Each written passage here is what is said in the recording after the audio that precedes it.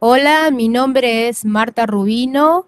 Yo soy bibliotecaria escolar en una escuela primaria, la escuela número 3 del distrito 16, se llama Grecia y está en el barrio de Agronomía en Ciudad de Buenos Aires. Y junto con mi compañera Emma desarrollamos en el 2020 un proyecto que fue la creación y uso de eh, contenidos interactivos para una biblioteca en movimiento. mi nombre es Emma Catanzaro, soy maestra bibliotecaria en la escuela número 14 del Distrito Escolar 16. Eh, la escuela se llama Leopoldo Lugones, está en el barrio de Villa Urquiza, en la ciudad de Buenos Aires. Tanto Marta como yo tenemos los dos cargos en nuestras bibliotecas, estamos todo el día, y este proyecto lo incluimos en la presentación de los trabajos que preparamos para las clases durante el año pasado en Zoom y también en forma eh, asincrónica. Bueno, si hubiera sido un año este, común y corriente, eh, se acerca el docente a la biblioteca escolar a pedir material eh, distintos recursos para los proyectos que tienen y bueno, uno recopila ese material y se los ofrece. Pero el desafío que presentó el 2020 fue eh, desarrollar esos materiales en, forma virtual eh, para poder presentarlos en los Zoom y bueno, y después este, en el blog. Así que la plataforma Genially em, es gratuita, muy completa, tiene em, gran cantidad de plantillas eh, y no solamente se podía preparar material para eh, para presentar un tema, eh, para información de estudio, sino que además permitía insertar videos de YouTube y tenía links a otros programas como EducaPlay, como Movit, como este, Jigsaw, bueno, y así que muy, muy completo. Em, y no solamente se podía ver durante el Zoom, sino que además permitía exponerlo en el blog o en Edmodo y eh, que el alumno lo vea en forma sincrónica. Como dijo Marta, lo utilizamos en las reuniones, en los encuentros por Zoom. También luego del Zoom los que no se conectaban podían retomar los contenidos que estaban ahí los publicábamos en el blog o en Edmodo. En el caso de nuestra escuela teníamos algunas aulas con plataformas Moodle. Se podía utilizar para retomar diferentes temas y también como plataforma para agendar clases semanales en distintos grados y como principalmente también una curaduría de recursos, de recorridos lectores, de juegos y de bibliotecas virtuales. Siempre eh, la ventaja que tiene es que se puede reeditar sin cambiar el link con ese mismo enlace y se pueden agregar contenidos, grabar audios directamente o subir audios también insertados desde otros sitios, de SoundCloud, por ejemplo. Permite hacer un trabajo colaborativo y los proyectos, eh, en algunos casos, compartíamos materiales que habíamos hecho en una de las escuelas para intercambiarlo eh, y también utilizando la gamificación, la comprensión de textos, las infografías, la agenda, los calendarios y muchos otros de las plantillas que Genially actualiza permanentemente. Bueno, como objetivo principal eh, era mm, adaptar a formato digital todo el servicio de biblioteca que brindábamos in situ eh, normalmente. Y que ese contenido pudiera verse después este, asincrónicamente en el blog o en el modo o cualquier otra, otra este, plataforma. Y que pudiéramos em, también subir los trabajos de los alumnos una vez finalizada la actividad eh, y que todos pudieran verla eh, y además, y muy importante, la creación de, la, de, una biblioteca, virtual para préstamo de libros, porque esa era la parte que eh, estábamos acostumbrados a que los chicos pudieran tener préstamo de biblioteca y en este caso se tenía que hacer en forma virtual. Así que ya sea creando la biblioteca por Genially o haciéndolo en, por ejemplo, en, este, en, Google Slides o presentaciones de Google o, cualquier otra herramienta que pudiera estar también dentro del Genially. enlazar también contenido, facilitar eh, recursos para presentar eh, también materiales que se fueron difundiendo el año pasado en las distintas redes del Ministerio de Educación de la ciudad y de la Nación, eh, sea, enlace a las bibliotecas virtuales, enlace a los canales de video de Paca Paca, por ejemplo, o de historias de diferentes temas de contenido que podían ser utilizados desde las casas eh, y que estaban contenidos de libre disponibilidad. También, bueno, trabajamos los recorridos lectores, como la biblioteca virtual, pero también como pequeñas bibliotecas de selección de textos y videos o audios que nosotras grabábamos y podían acceder desde ahí los docentes para utilizarlos en sus clases. Los resultados que obtuvimos fueron muy eh, muy buenos. La verdad que los comentarios de las familias eh, muy satisfactorios, unas devoluciones hermosas de los chicos también. Eh, muchas veces a, mi mail han llegado la foto de los chicos haciendo los juegos en sus casas o que se completó el resultado, cuánto habían sacado en puntos.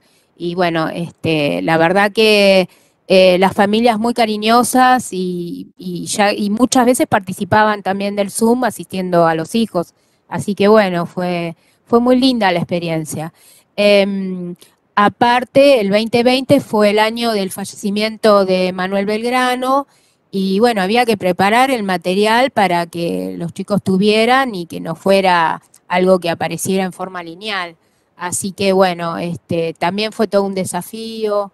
Eh, conseguimos el, audio de los autores que les hablaron, bueno, eh, fue, fue muy lindo y de esa experiencia también tuvimos muy lindas devoluciones de los chicos, de las familias.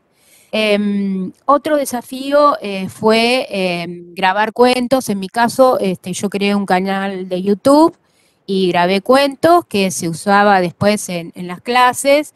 Los chicos lo escuchaban en sus casas, pero siempre después del cuento había algún juego de Genially o, o y otros y otras este, aplicaciones que se incluían todos en, la misma plantilla y bueno, ellos sabían que después del cuento venía lo divertido. Y la verdad que eso servía también como comprensión de textos. Eh, así que bueno, indirectamente jugando eh, había todo un desarrollo didáctico, ¿no? Y, y bueno, este, digamos, al finalizar el cuento se enlazaba con, otros juegos.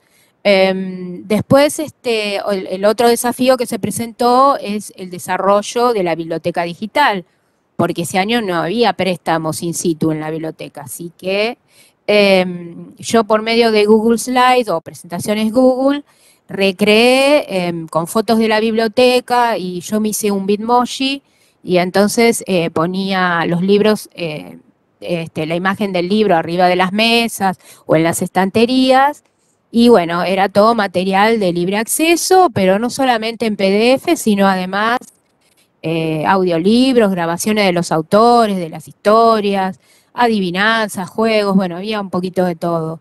Eh, así que también la devolución de ellos fue muy linda, porque después ellos recomendaban. Las recomendaciones de ellos se subía a un Padlet de libre acceso, ellos subían directamente y ese Padlet después aparecía también en el Genially. Así que, bueno, este, con Emma eh, compartimos mucho, de, muy colaborativamente las plantillas eh, para, teníamos muchos proyectos en común, por ejemplo, el proyecto Lobos, que lo tuvimos en común, así que compartíamos el material. Eh, y bueno, muy, muy satisfactorio fue el año pasado en ese sentido que, que le pudimos, pudimos transformar una biblioteca tradicional en eh, una biblioteca con contenido virtual, pero muy entretenida. Sí, en mi caso agrego, porque lo que dijo Marta es más o menos también lo que se hizo acá. Eh, por un lado, eh, la biblioteca, yo armé una biblioteca con una imagen interactiva de mismo Genially, que tenía acceso a otro Padlet de recomendaciones. Eso también lo pusimos en el blog de la escuela y en el blog de la biblioteca como algo general. A su vez, las selecciones de material fueron muy pedidas como por los docentes y a su vez de agregarle cosas, juegos, rompecabezas a eh, los recorridos lectores que habíamos armado de, Lobos. Armamos uno sobre María Elena Walsh, y bueno, con muchos videos que hay en YouTube y contenido diverso, contenido libre.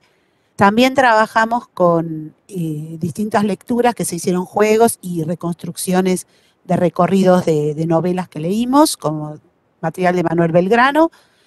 Eh, algunos de los resultados interesantes es que este año continuamos subiendo a la plataforma, nosotros tenemos en la escuela aulas con plataforma Moodle, en cada grado, para cada recorrido, se presentan, se hacen infografías o presentaciones nuevas o a veces las del año pasado que se retoman y cada docente la toma en este contexto híbrido donde a veces se cierran burbujas, donde a veces la presencialidad eh, fue muy, muy distinta, a lo largo del año fue cambiando, pero bueno, los materiales están en un, en un lugar que pueden acceder. Eh, Genially tiene la ventaja de que se puede tomar desde un celular o desde una tablet eh, y tiene muchas posibilidades de dispositivos. Eh, por último, esto que decíamos antes, a los chicos les gustó mucho.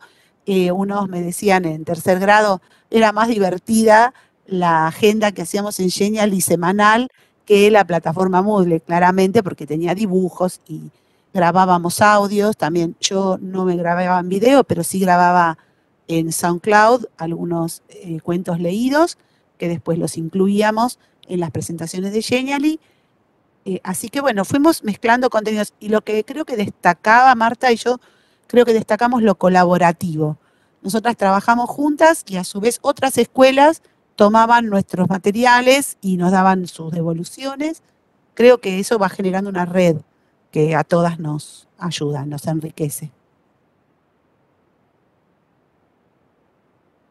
Yo quería eh, agregar que este, esta forma de trabajo eh, un poquito quedó este año, como decía Emma, y que muchas veces vemos eh, alguna novela en literatura y bueno, y después los chicos están buscando hacer el, digamos, el repaso por medio de un jueguito. Y, bueno, en, mi caso, en la biblioteca, yo conseguí por donación una pantalla grande que conectada a un cable HDMI a la computadora, eh, todos lo pueden ver en grande, digamos, la, plantilla y pueden jugar todos juntos. Así que bueno, eso, eso eh, llega para quedarse y bueno, muchas veces tenemos burbujas aisladas y el docente es el que nos pide, eh, bueno, vamos a ver tal cosa, vos no tendrás algún material virtual que para pasar, porque bueno, llegó para quedarse ese, tema. Así que, bueno, fue, es, muy placentero porque seguimos recibiendo este, muy buenas críticas, digamos, a esa forma de trabajo. En mi caso, como el espacio es chico en la biblioteca, yo suelo ir a las aulas con el cañón, eh, con un cañón y una computadora, y voy pasando las presentaciones ahí o los juegos en algunos horarios que coordinamos con los docentes eh, y luego lo subimos a, las aulas para que ellos puedan continuar en clase o los que no están eh, presentes o las burbujas que se cierran eh, lo puedan ver también. Tiene esta posibilidad. Bueno, lo positivo de toda esta experiencia es que en realidad se abrió más el trabajo colaborativo. nosotros tenemos un WhatsApp con los bibliotecarios del distrito y siempre que se acerca una efeméride o alguno está viendo algún tema en particular, particular, eh, nos pasamos mucho de, los contenidos digitales que fuimos haciendo entre varios bibliotecarios. Y eso está bárbaro, porque así, digamos, pudimos ahorrar trabajo y eh, no sucedía antes, la verdad que no sucedía antes. Y ahora sí se trabaja más colaborativamente. A partir del 2020 trabajamos más colaborativamente con los bibliotecarios del distrito. Así que muy linda la experiencia que nos dejó.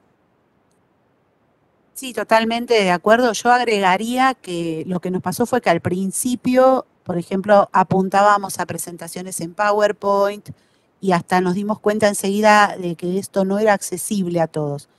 Eh, dentro de la conectividad que algunas familias tienen más limitada, esto sí era una posibilidad accesible, eh, fácil de, ver desde cualquier dispositivo, eh, y me parece que eso fue, eso sumó mucho, sumó mucho porque los contenidos están ahí.